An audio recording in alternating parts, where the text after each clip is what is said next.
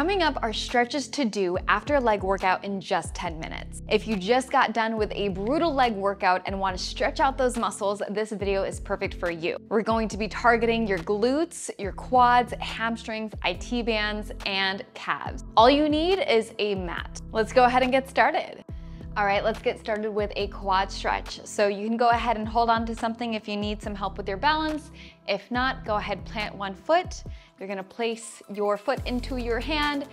As you bring those knees together, you wanna think about slightly pushing your hip flexor forward so that you feel the full length of your quad, front of the thigh, stretch out. Now you can do a couple things here with your other hand. You can come out here for balance. You can bring it up to the sky maybe even on your nose. Apparently that helps. so do what works for you. Now we're gonna spend some time holding each move in more static stretches to really lengthen those muscles out.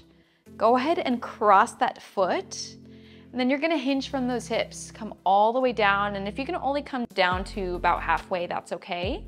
If you can come down all the way down towards the floor, even better. You're gonna feel your IT band uh, basically the band that kind of runs down your thigh on the side, you'll feel that stretch out. It's a really great stretch for pretty much anyone, but especially runners who do a lot of high impact stuff on the pavement. We definitely want to stretch these out so that we don't injure ourselves. Slowly roll on up one vertebrae at a time. Go ahead and unravel the feet. We'll go ahead other side kick that foot up towards the hand, bring those knees to touch, and actively press that hip flexor forward. So this is a great stretch routine that you can do after any crazy leg workout. Maybe you're feeling particularly sore and you just wanna stretch out everything from the waist down. We got you covered in this routine. Let's go ahead and cross that one over and go ahead and hinge from those hips. Try to come all the way down towards the floor and don't worry if you can't touch your toes.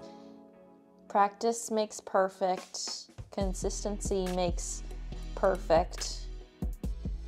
Consistency makes progress. We shouldn't be aiming for perfection. We know that. Go ahead, slowly rolling up one vertebra at a time. And let's bring those feet nice and wide here. We're gonna stretch out the hamstrings. So toes are pointing forward, hinge from those hips, lead with the chest as you come all the way down towards the floor stretching out those hamstrings. You can have a slight bend in the knees if you need to, but we do want to try to keep the knees as straight as possible. And with every exhale, try to sink a little bit further down towards the floor. Now from here, you're gonna walk your hands over to the right leg. Try to think about pressing your chest towards your knee and hopefully that helps you lengthen or think about lengthening your torso. And from here, slowly walk those hands over to the other side. Again, pressing that chest toward your knee.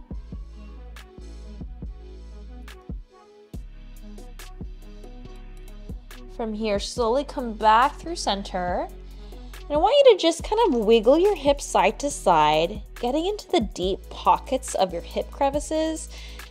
This can feel really hard if you're really tight, but this is something that you definitely want to work on if you are tight. Just going side to side here. All right, and when you are ready, let's go down and take a seat. We'll go into a um, a hamstring stretch again, but we'll start with our right foot tucked in. So make sure the knee is pointing out and you're sitting on your sit bones. Flex the left toes towards your nose and square off those shoulders. Reach your hands nice and tall towards the sky and hinge forward as far down as you can. Now again, if you can only grab here, that's okay. If you can grab your ankle, even better, or maybe even wrap your hands around your shoe, your foot, you can do that too. Again, try to focus on lengthening your spine instead of rounding. And from here, let's go ahead, cross that foot over. So right foot over left knee.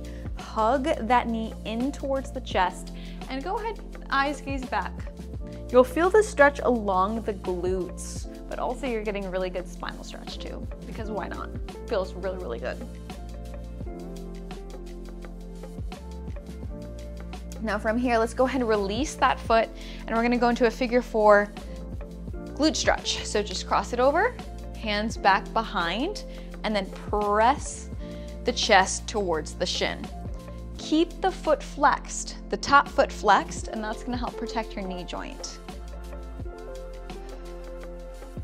Just open up that chest as much as possible.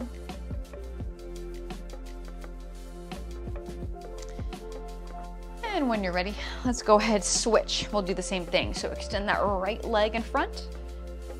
Bring the left knee out to the side, square those shoulder blades, or those shoulders rather, towards the toe.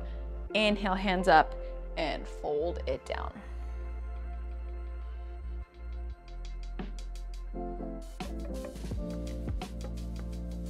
Try not to resist or fight the stretch. Really think about surrendering into the stretch. You shouldn't push yourself into the stretch. Really use your breath to just kind of release, kind of melt into it. Now from here, we'll do that crossbody stretch. So cross it over, hug that knee into the chest, lift up through your spine, and then eyes gaze back.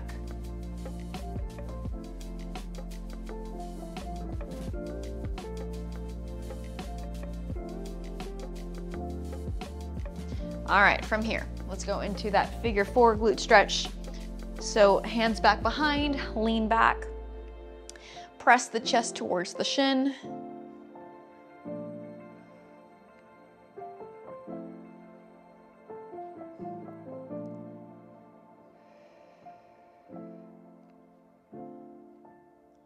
right, let's go ahead, slowly release. We'll take a butterfly stretch, really getting deep into those hips.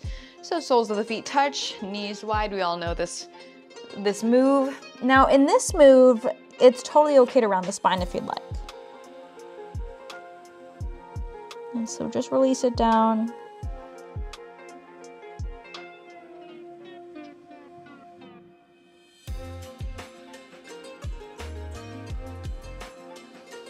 All right, and we'll make our way down towards our back. Nice and easy here. Bring those knees to touch. Uh, give yourself a nice hug. Hip flexors are stretching out right here. Let's go ahead and hold onto the right knee as we extend the left foot down. Grab the back of your thigh and take a hamstring stretch. Now go ahead and point and flex the toe to get a little bit more into the calves and maybe make some ankle circles around clockwise and counterclockwise.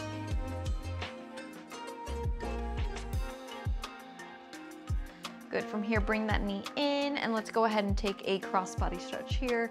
Just stretching out the spine, but you'll also feel those glutes stretch out. Keep the shoulder grounded on the floor. And let's go ahead and switch. Hug the left knee into the chest, stretching out this hip flexor.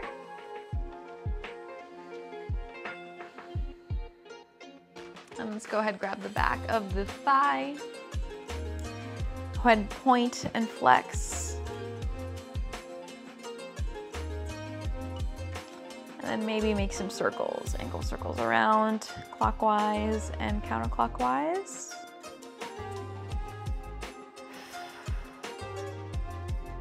Go ahead and tuck that knee in again and take that spinal stretch.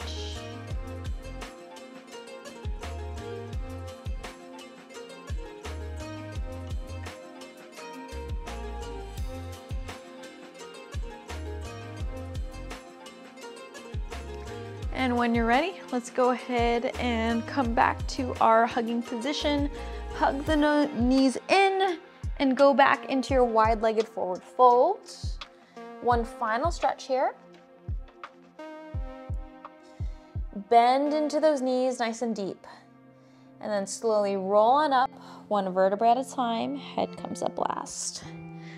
You did it! I hope you were feeling so much better than when you started. If you did, please like and comment below and let me know how this routine went for you. You can always come back to this at any point whenever you are struggling to feel your legs after a leg workout or if you just need a nice active recovery day. Make sure to subscribe so that you can get notified every single time I post a new workout video.